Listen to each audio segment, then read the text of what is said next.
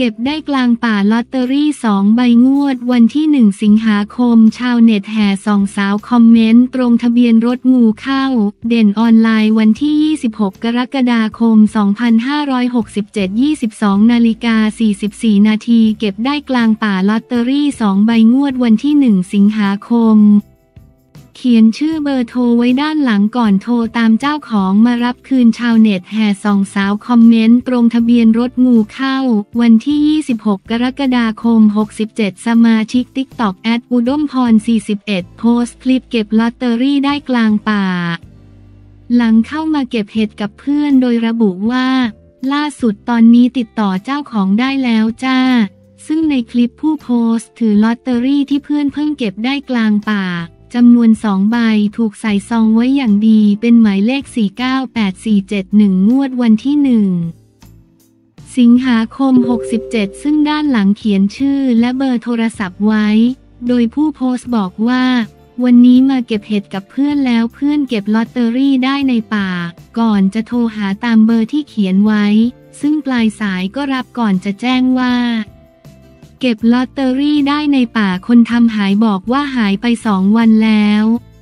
จากนั้นก็นัดกันมารับลอตเตอรี่จนกระทั่งมีชายเจ้าของลอตเตอรี่มารับกลับไป หลังโพสต์ดังกล่าวเผยแพร่ไปก็มีคนเข้ามาแสดงความคิดเห็นจำนวนมาก โดยมีหญิงสาวรายหนึ่งคอมเมนต์ว่าเลขเดียวกับทะเบียนรถเธอเลย เพราะงูเข้ารถตอนนี้ก็ยังไม่ออกจากรถเลย ผู้โพสต์ก็ตอบว่า ตามค่ะตาม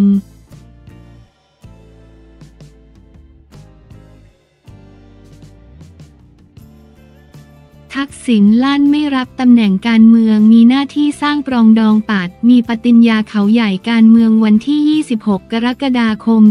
2567 16นาฬิกา32 นาที ทักษิณลั่นไม่รับตำแหน่งทำหน้าที่แค่ที่ปรึกษาลูกปัดมีปฏิญญาเขาใหญ่ไร้เรื่องการเมืองย้ำมีหน้าที่สร้างปรองดองทำการเมืองแข็งแรงเมื่อเวลา 14 นาฬิกา วันที่ 26 กรกฎาคม 2567 ที่บ้านจันสองล่านายทักษิณชินวัตรอดีตนายกรัฐมนตรีให้สัมภาษณ์กรณีหลังจากวันที่ 22 สิงหาคม หากพ้นโทษแล้วจะวางบทบาทตัวเองอย่างไรว่าไม่มีอะไรตนห่วงบ้านเมือง คนเคยเป็นอดีตนายกรัฐมนตรีก็คิดถึงบ้านเมืองห่วงบ้านเมืองห่วงประชาชนมีอะไรที่เราคิดว่าจะต้องแนะนำติติงได้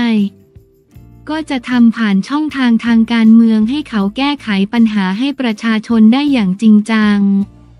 เมื่อถามว่ามีโอกาสจะรับตำแหน่งทางการเมืองหรือไม่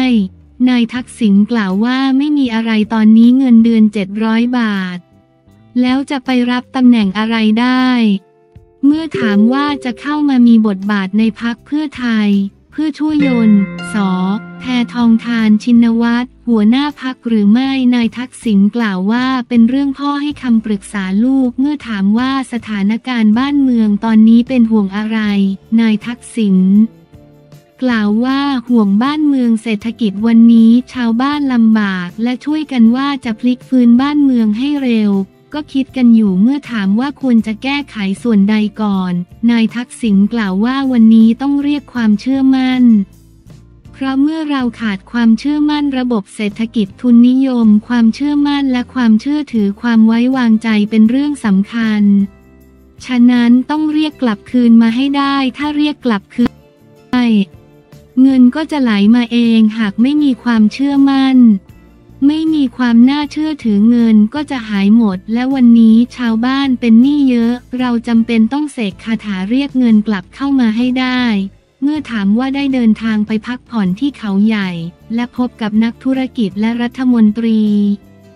ได้มีการพูดคุยถึงประเด็นทางการเมืองหรือไม่ นายทักษิณกล่าวว่าวันนั้นไม่ได้คุยการเมืองเลย เป็นคนที่สนิทกันมานานและไม่มีการคุยเรื่องการเมืองนางสาวแพทองทานก็ไปด้วยร้องเพลงกันผ่อนคลายโดยนิสัยของตน ตั้งแต่เป็นนักธุรกิจเวลาไปทานข้าวจะไม่ค่อยคุยคุยแค่เรื่องดินฟ้าอากาศ ครอบครัวถ้าจะคุยเรื่องงานก็ตอนมีของหวานมาแต่รอบนี้ไม่มีของหวานเลยไม่ได้คุย เพราะอิ่มก่อนจึงไม่มีของหวานเลยลืมพูดถึงเรื่องงาน พูดแต่เรื่องมโนสาเร่เมื่อถามว่าฝ่ายการเมืองมองว่าเป็นการหัวกับเจ้าสัวพลังงาน นายทักษิณกล่าวว่าไม่มีทุกอย่างบ้าน เรามีกฎเกณฑ์การเป็นคนรู้จักเพื่อนฝูงต้องอยู่ในกฎเกณฑ์ ไม่ทำอะไรฝ่าฝืนกฎเกณฑ์ ส่วนที่มีภาพตนร่วมกับนายสารัตรัตนาวดีประธานกรรมการบริหารบริษัท Gulf Energy Development จำกัด มหาชน และนายอนุทินชาญวีรกูล รองนายกรัฐมนตรีและรัฐมนตรีว่าการกระทรวงมหาดไทยเขาเป็นเพื่อนกันมานานมาก และนายอนุทินรู้ว่าตนจะไปเขาใหญ่ ซึ่งนางสาวแพทองทานเป็นคนวางแผนไว้สามอาทิตย์ล่วงหน้าบอกให้ล็อกพาพ่อไปด้วยลูกหลานไปครบ เมื่อนายอนุทินรู้เขาจึงชวนไปทานข้าวและขอเลี้ยงอาหาร แต่ปรากฏว่า สอสอในพื้นที่รู้ข่าวว่าตนมาเลยมากันหมดโดยไม่ได้ตั้งใจ เมื่อถามว่ามีคนมองเป็นปฏิญญาเขาใหญ่ นายทักษิณกล่าวว่าไม่มีเรื่องปฏิญญาทำให้ตนวุ่นวายมารอบหนึ่งแล้วความจริงไม่มีอะไรเลย ถึงแม้ตนจะเป็นนักการเมืองเก่าแต่หน้าที่ของตนคือสร้างความปรองดอง เพื่อให้การเมืองแข็งแรงและบ้านเมืองเดินหน้าได้มากกว่าจะทำหน้าที่อื่นๆ ซึ่งหลายคนส่วนใหญ่ก็ทำงานร่วมกันมา การที่คนไปร่วมทานอาหารเฮฮาด้วย จะเกิดความสามัคคีกันมากขึ้น จะได้ไม่มีเรื่องที่เข้าใจผิดกัน และเมื่อเวลามีเรื่องเข้าใจผิดกัน จับมานั่งคุยกันก็จบวันนี้ความสามัคคีบ้านเราสำคัญ เพราะลำพังแค่การแข่งขันกับต่างประเทศก็หนัก ถ้ายิ่งไม่สามัคคีกันยิ่งไปกันใหญ่ ฉะนั้นต้องทำให้ความสามัคคีเกิดขึ้นในชาติให้ได้